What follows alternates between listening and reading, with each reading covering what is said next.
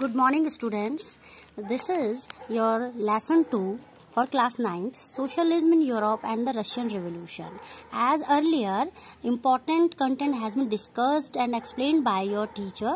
Now, in this video, I am going to explain the second point of this chapter the russian revolution that how in russia the russian revolution started what were the reason behind it and how what was the effect of the russian revolution so before uh, discussing the russian revolution when it has started we will trace the history that before the russian revolution what was the economic and social and political condition in europe in the October Revolution 1917, socialists took over the government in Russia. As uh, you might be knowing that uh, uh, uh how in Russia uh, before the 1917 how was the situation? There was a monarchy system under Tsar Nicholas II and uh, how the liberals and the radicals were agitated for the free nation demand. We might be knowing that you know it very well. Now we are continuing the topic and uh, uh, hope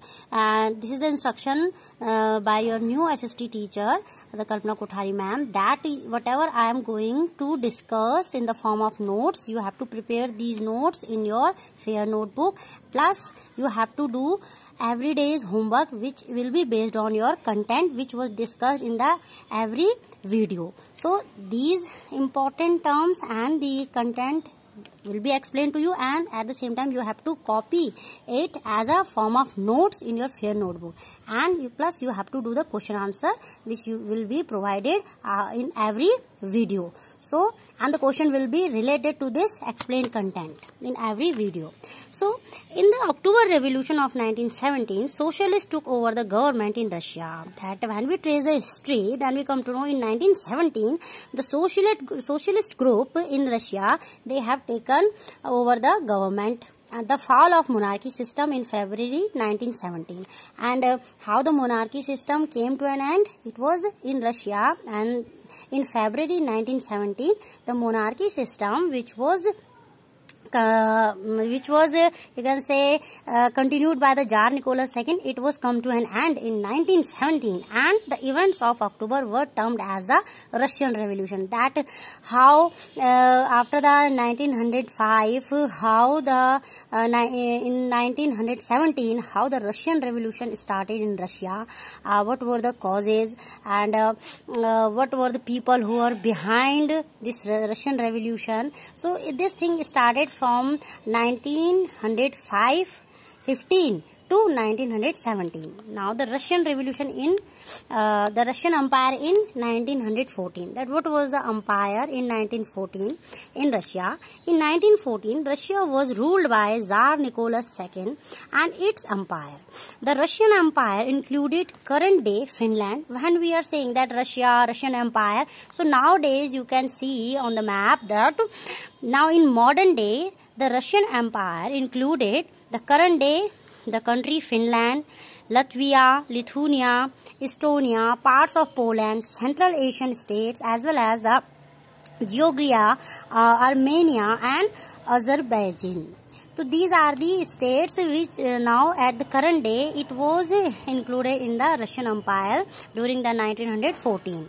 Now majority of the population uh, in Russia that time was Russian Orthodox Christianity. So in 1914 the majority of the population believe in Christianity and they believe in the Orthodox Christianity. They were the follower or the successor of the Orthodox mentality of Christianity.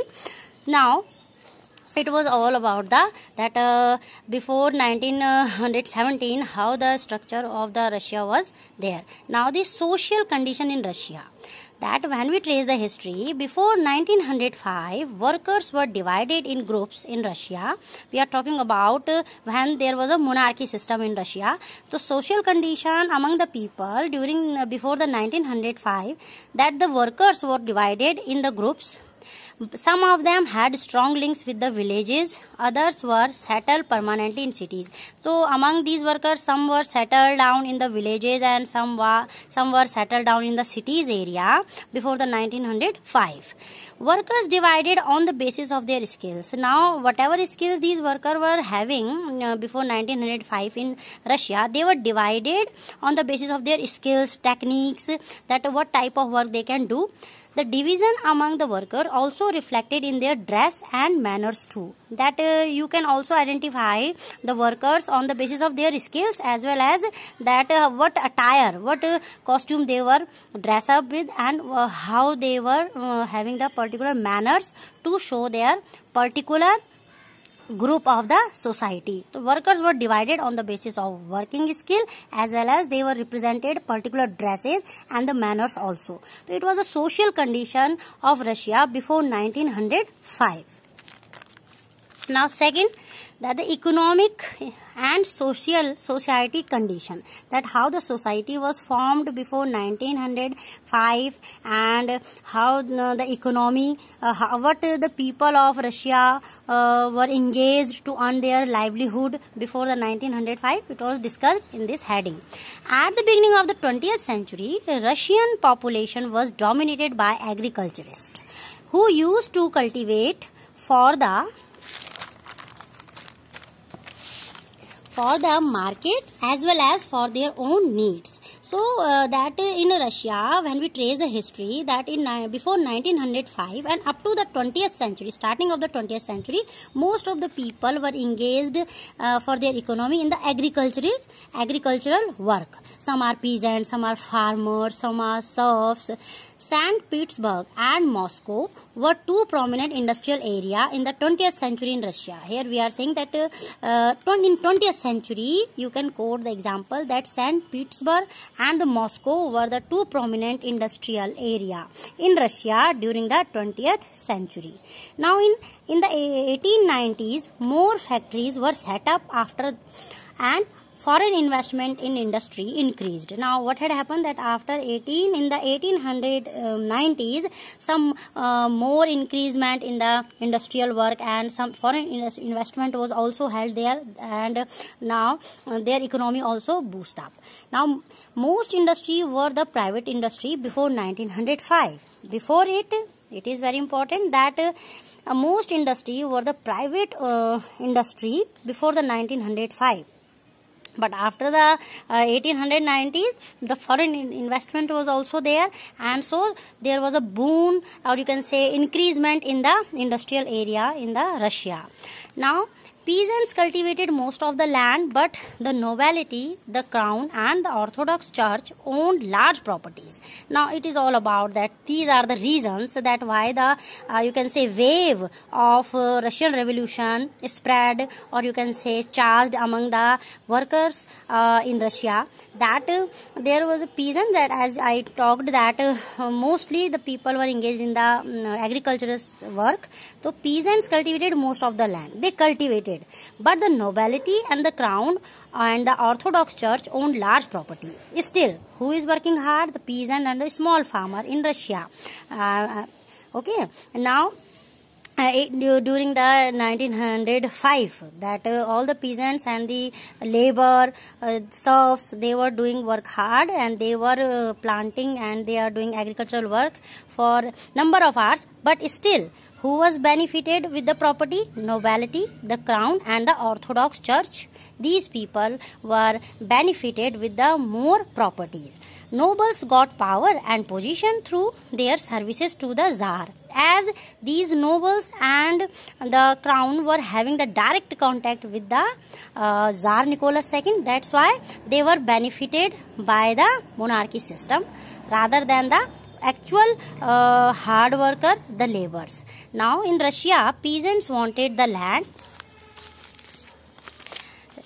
now that uh, in Russia, peasants wanted the land of the nobles. Now, uh, th this was the reason that uh, peasants were lagging behind. Their economy was not uh, increasing. Their wages were not so much good like uh, the as the noble noble people and the crown were benefiting with the uh, whatever the hard work was go, done by the peasants. So, what they want, they demand. The peasants demanded that the more piece of land of the nobles that uh, so that they can earn they can boost they can increase their wages also it was only their demand uh, up to the when the waves of nationalism or you can say the waves of the russian revolution was not spread all over the you can say empire during the Tsar Nicholas II. Now, the it was the economic condition uh, during the 20th century in Russia or before 1905. Now, the third point that what was the political condition in Russia uh, before 1905. So, before 1905, Russia was an autocratic nation. As I told you, it was a monarchy system, one man rule army, unlike other European countries. The Tsar was not subject to a parliament. The Tsar Nicholas II was, uh, there was a, a, monarchy system, so there was not a parliament uh, under the Tsar Nicholas rulership. Now, as we know that liberals in Russia campaign to end this state of affairs. As as we know that uh, earlier you have uh, you, can, you have taught uh, that how the liberals uh, fought they organized campaign to end this monarchy system as they wanted the parliamentary body in the nation while the socialist revolutionary party struggled for peasants rights. That there were two terms as socialist revolutionary party and the liberals. Both were in the favor of uh, to end the monarchy system in Russia. So liberals wanted that to stop the uh, interfere of the Tsar Nicholas II as they want the parliamentary body, separate parliamentary body. And while the Socialist Revolutionary Party, uh, these people who belong to this party, these people struggled for the peasants' right as who were exploited uh, uh up to the 20th century in Russia the peasants group working class the serfs they were exploited as they uh, the number of the unlimited hours they were working in the fields but noble and the crown were benefited as they were directly in contact with the Tsar Nicholas II and they were not benefited and they, they were having very poor condition, poor economic condition. So, socialist party activists struggled for the peasants' rights through the Russian Revolution. Now it was all about the uh, Russian Empire in the 1914 and how the social condition before 1905 in Russia, then economic and the society condition before 1905 and 20th century, and then political condition in Russia before 1905. That what was the political condition? Autocratic rulership. The liberals were active, active participant to establish the parliamentary body in Russia to end the monarchy system and the socialist revolutionary also. It was a pol political condition in Russia before 1905. Now, now the next important that a turbulent time the 1905 revolution. Now we are talking that how the russian revolution started with one particular incident and this phase uh, of 1905 is known as the explosive time. A turbulent means an explosive time in russia and it was started from 1905 Russia was an autocratic autocracy and even uh, at the beginning of the 20th century, the Tsar was not subject to the parliament. As we I have discussed that there was a scene that up to the 20th century there was a monarchy system in Russia. During the revolution of 1905, Russia along with the social democrats and socialist revolutionaries worked with the peasants and workers to demand a constitution. Now the important thing that how uh, in uh, from 1905 the socialist revolutionary with social democrats how they come together uh, to sort out the challenges in the peasants and the workers lives with the help of law and justice. It means the socialist revolutionary figure and the social democrats uh, joined hand with the peasants and the workers and they all demanded a constitutions in russia with the phase started from 1905 so here you come to know that from 19, 1905 the waves of the revolution in russia started. Now they come together that for russian workers bad time started from the year 1904 as that how the bad time started uh, for the Russian, you can say workers, that prices of essential goods rose. Their real wages declined by 20%. Their wages, that uh, their wages were declined, decreased by 20% for the workers in 1904. Second, workers went on strike demanding a reduction in the working hour. They wanted that their working hour should be deducted as they were not getting the proper wages. An increase in the wages and improvement in working condition. They also wanted that their working condition should be proper. Uh, they should be treated like a human being, not as slaves. The procession was uh, attacked by the police and the Cossacks when it reached the Winter Palace. Now, the incident known as a Bloody Sunday. It was important that how the people, workers and the socialist democrats and all the liberals uh, with the workers, they just to move forward with the uh, with a violent procession uh, at Winter Palace and how they were brutally beaten up by the police. And this incident was known as Bloody Sunday. That thousands of workers, thousands of people were killed during this police attack. After that, a series of events started in Russia resulted in the 1905 revolution. After the Bloody Sunday incident, the series the started in the form of revolution in throughout the Russia. Now people in Russia established the union and demanded a constitution assembly. Now they became so much agitated that they want that at any cost they wanted a constitution for the equal right and opportunity even for the working classes. After seeing the violent among the workers, laborers and peasants, serfs, Tsar allowed the creation of elected consultative parliament or Duma. That after seeing the agitated people, Tsar Nicholas II give the permission for the as a consultative parliament or Duma. The parliament was also known as a Duma. Uh, in Russia and he was granted the permission ki, okay now the people became so much aggressive so he just allowed for the creation uh, of elected consultative parliament or Duma in Russia so it is all about now bloody sunday. It is also important in this uh, topic that what was bloody sunday?